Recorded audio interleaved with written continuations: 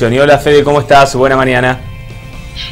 Hola Gus, ¿cómo andan? ¿Cómo andan todos ahí en sus casas? Eh, yo estoy acá justamente en casa, comenzando la jornada informativa en Diario Litoral y compartiendo en este momento con ustedes algunos datos que van dejando, que va dejando la cuarentena, este elemento social obligatorio impuesto por el gobierno nacional, con lo que tiene que ver en este caso con la movilidad de las personas, un estudio que hizo Google eh, en los últimos días, que tiene un corte en realidad en el 30 de marzo eh, pero que seguramente ya van a haber datos eh, con lo que tiene que ver con la extensión de este aislamiento social, de esta cuarentena. Eh, vamos con algunos datos porque realmente son muy interesantes todo lo que fue pasando y vamos a ver primero cómo fue la metodología, es decir, cómo se captaron esos datos referidos a la movilidad de las personas. Porque uno dice, bueno, Google, ¿cómo sabe dónde estoy? Atrás de este aparatito, atrás del teléfono celular, como habitualmente sucede, esto es, obviamente, con aquellos teléfonos celulares, no importa la marca en este caso, que tengan habilitadas las opciones de la configuración de GPS, el posicionamiento global a través de la georreferencia y según en dónde esté el teléfono celular y, justamente si ese dato no es privado, de Google lo recopila y comienza con esto a hacer los datos. 33 millones de teléfonos celulares o 33 millones de cuentas, mejor dicho, en Argentina eh, llevaron a este, a este dato. En Argentina, en promedio, según lo que, lo que informa Google, se respetó la, la, cuarentena en un 85%. ¿Por qué dice esto? Porque dice que hubo una merma eh, del 85% en distintos tipos de, eh, en promedio, ¿no? en distintos tipos de actividades. Por ejemplo, eh, hubo menos del 60% o mermó un 60% el desplazamiento en la República Argentina. también un dato interesante, 80% menos de movimiento en las estaciones, esto es en, eh, obviamente, aeropuertos y eh, estaciones de colectivo a lo largo y a lo ancho de todo el país. Pero no nos quedamos solamente con lo que pasa en Argentina, vamos a lo que pasa puntualmente en la provincia de Santa Fe, que hay que decirlo, una de las provincias que más eh, acató, siempre en términos de Google, ¿verdad? este, esta cuarentena. Por ejemplo, de Santa Fe, para que demos una idea, hubo una merma del 87% en eh, presencia de gente, recordemos, con el aparato de Google activado y que Google pudo tomar ese dato público del 87%. Esto es, hubo 87% menos de personas en el, rango de fechas del 20 de marzo al 30 de marzo de lo que habitualmente hay. ¿Vieron cuando, para ustedes se den en cuenta, para graficarlo, ¿no? Cuando entran, por ejemplo, a Google Maps, que les aparece que una calle está en roja, otra está en verde, otra está en amarillo, bueno, eh, eso lo que marca básicamente es la cantidad de gente, la cantidad de eh, teléfonos que están en ese momento eh, apuntando en ese lugar. Es decir, los GPS que están activados en ese lugar. Por eso podemos saber que hay más o menos tráfico en la ruta 168, que el microcentro está más colapsado o no. En base a esos, datos es que después Google en esta cuarentena los toma y ve cuál fue la merma.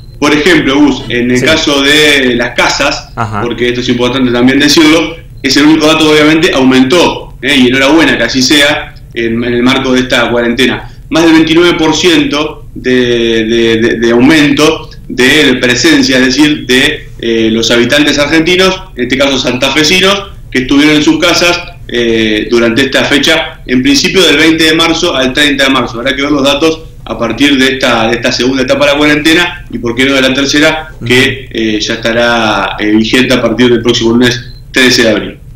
Eh, sin duda es que estos son datos súper interesantes, Fede, para de alguna manera dimensionar qué es lo que ocurre en la provincia de Santa Fe y también a nivel país, ¿no? Cómo la telefonía celular no solamente nos ha marcado una nueva era en cuanto a la comunicación, sino nos marca esto, ¿no? la posibilidad de conocer cómo se vive este aislamiento social y obligatorio en toda la República Argentina.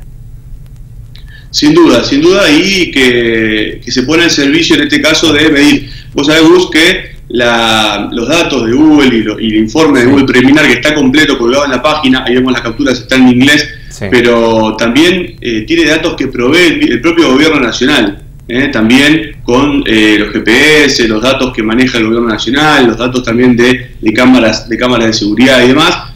Por lo tanto, es un trabajo mancomunado en este caso que hace, le seguimos diciendo la marca del, buscador, es mucho más que eso, que hace Google, en este caso con el gobierno nacional y con varios gobiernos del mundo, donde este mismo informe se replicó conforme fueron pasando los días de aislamiento preventivo en, a lo largo del ancho del mundo. En Italia también es impresionante porque prácticamente el acatamiento es total, pero bueno, allí hay también un toque de queda y hay por supuesto también una restricción policial más importante. Pero estos son los datos. En promedio el 85% eh, de merma en todo el país y en Santa Fe del orden del 87% y aumentó un 29% la presencia de los santafesinos en sus casas, como yo que estoy aquí mirándote desde las 7 de la mañana, cafecito en mano y por supuesto trabajando para llevarles a ustedes toda la información. Eh, ¿Sabes de lo que también podemos hablar después?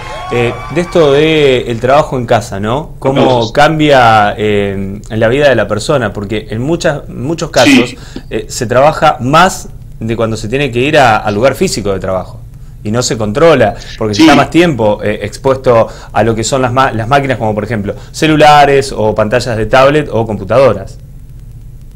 Sí, a mí hay un dato que me sorprendió, me sorprende mucho de estos días. Eh, yo básicamente estoy desde el 18 de marzo, entre una cosa y la otra, eh, o 20 de marzo, eh, en casa, ¿eh? salgo solamente para lo necesario, poco y nada. y lo que me sorprendió, por ejemplo, el uso de la batería del celular, que obviamente me dura muchísimo más, pero la compu, cada dos minutos hay que cargarla, cuando uso notebook, pero la verdad es que el uso y el horario de cada uno de los dispositivos por supuesto que va, se va, va cambiando muchísimo.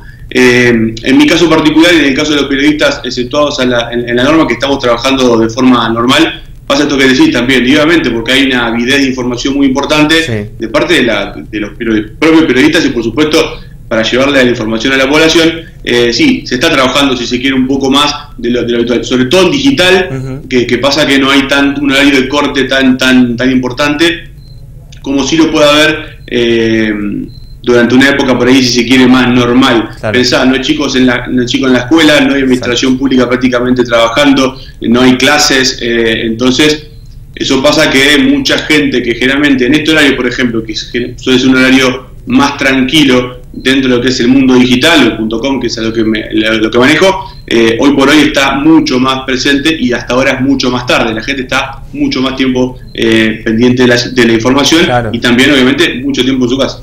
Eh, Fede, nos vamos a reencontrar seguramente la semana que viene, también a través de, esta vía vía Skype. Cuando quieran, me encuentran acá. acá me Un abrazo, ahí está. Los, los aplaudidores también están por Skype.